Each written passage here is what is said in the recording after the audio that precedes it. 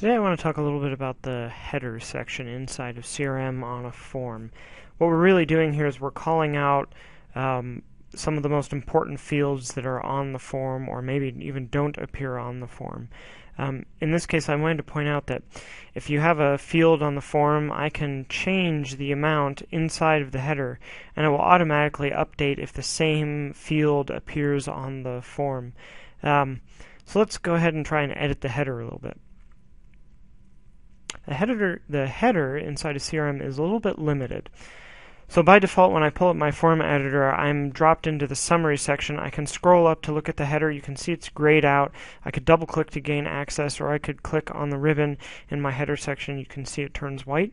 Um, you can see what I have organized here inside the header doesn't match what's ended up here inside of my live form. That's because you really only get to show four fields in the header. You can show less, but no more than four.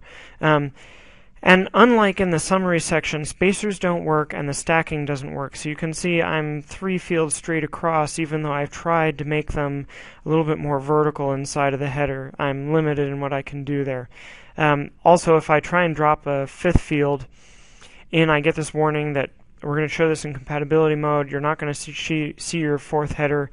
Sorry. Uh, so I'll remove that. I'm also going to get rid of my spacers since there's really no point to that. Um, there's also width and formatting, but really they don't do much inside of the header. Um, you can change your labeling.